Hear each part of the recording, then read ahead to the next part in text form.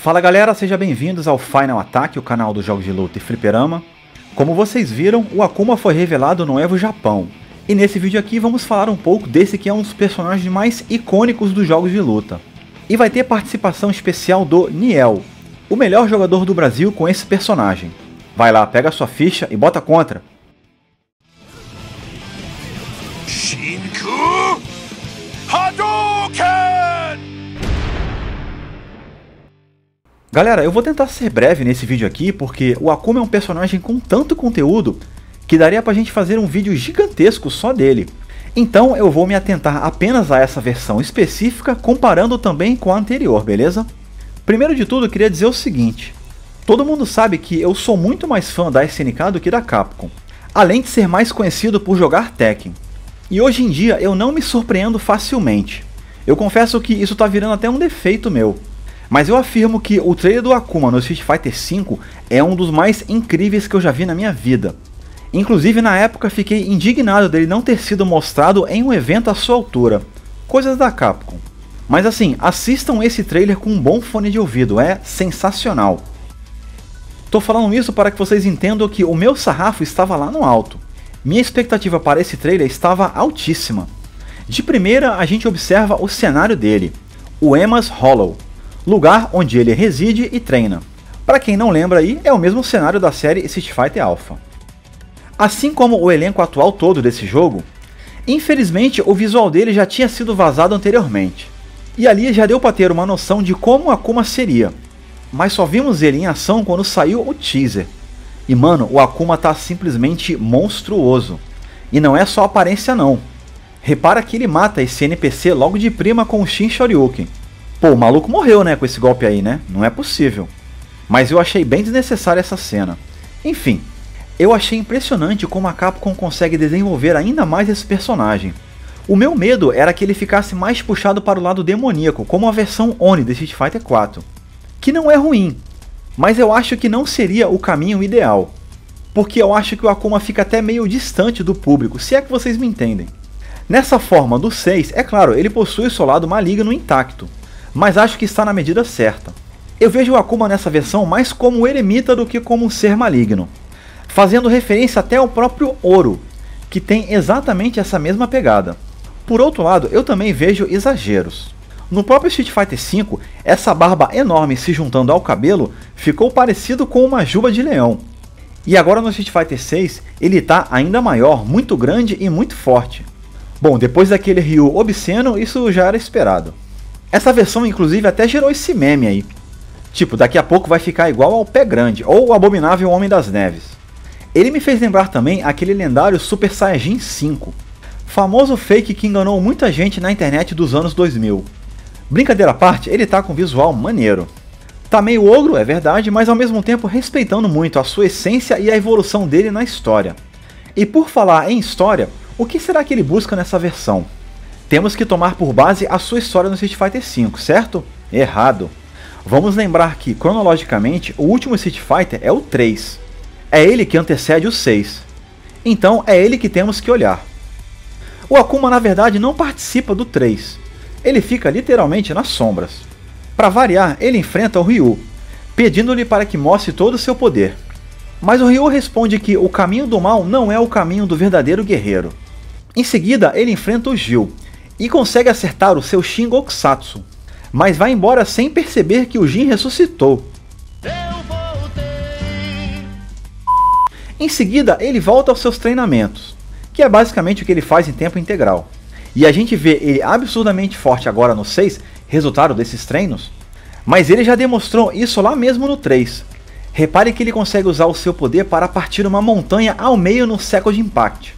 No Third Strike, ele aparentemente consegue até ficar embaixo d'água por bastante tempo. Pô, o maluco é o bichão mesmo.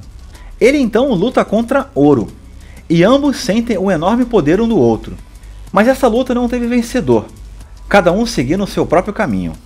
Eu acredito que no Street Fighter 6, obviamente, ele vai atrás do Ryu. Vai medir forças com ele e tentar fazê-lo se entregar à energia maligna do Satsuno Hadou. Mas eu espero que tenhamos surpresas, né? Pois isso seria um clichê enorme. Sobre seu gameplay, dá pra ver que ele ganhou uns target combos novos. Reparei que a sua Fireball aparentemente está percorrendo a tela toda, algo que tinha sido nerfado no 5. Ele ganhou uma espécie de Command Grab. Meu amigo Akuma com Command Grab, vai vendo. Ele também voltou com os especiais clássicos de magia no chão e no alto. Ganhou também um especial novo que dá um soco em chamas e o adversário voa longe.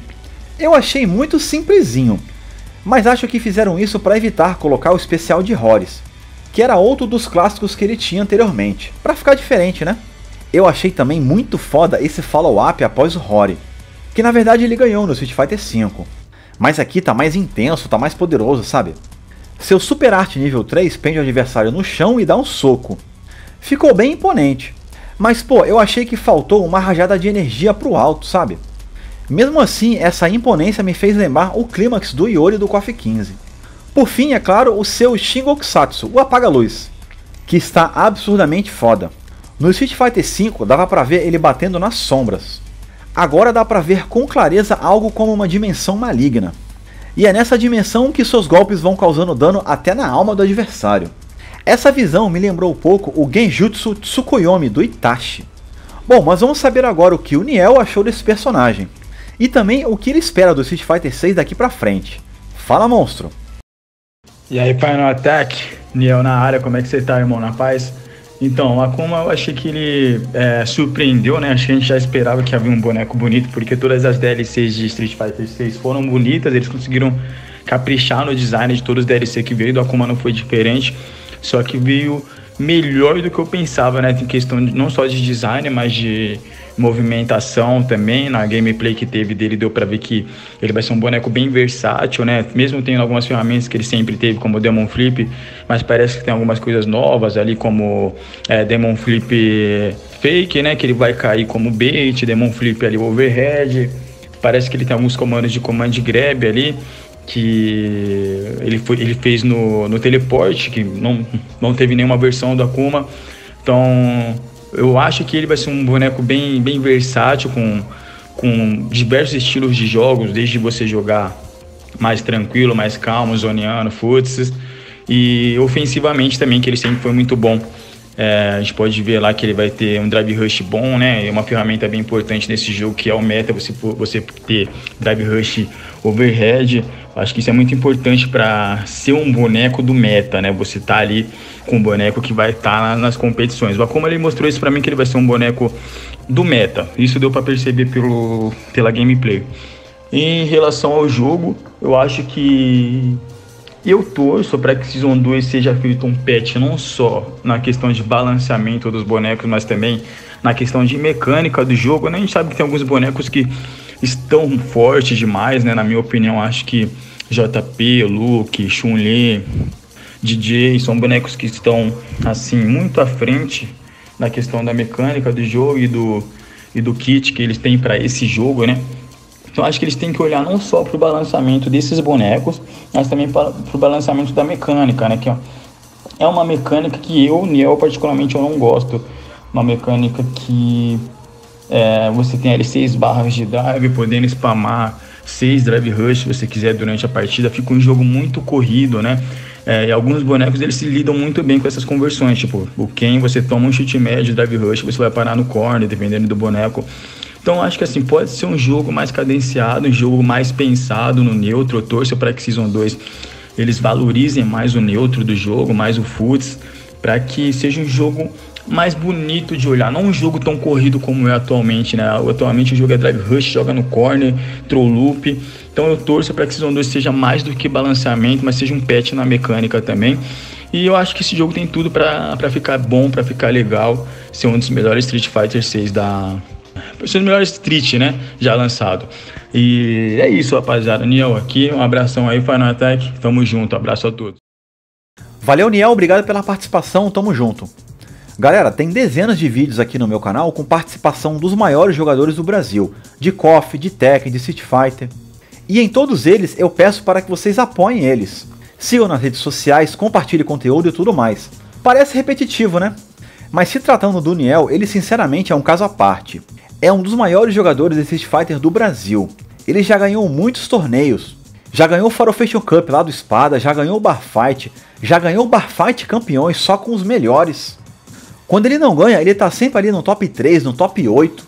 Ele também é um dos integrantes do Versus Podcast, ao lado do Alexis e do Nick. Ele já veio aqui para Santos só para jogar com a gente aqui do litoral. O mano, além de fera, é super gente boa. Então já sabe, não deixa de apoiar e diz que conheceu aqui pelo Final Attack, beleza? Mas agora eu queria saber a sua opinião, o que você achou do Akuma? Por sinal, o último DLC da primeira temporada do Street Fighter 6. E quem vocês esperam para a segunda? Comenta aí embaixo. Não esquece de deixar o like, se inscrever no canal e compartilhar com seus amigos, tá certo? Forte abraço e até o próximo Flipper. Eu vou mostrar o que acontece com quem não se inscreve aqui no canal.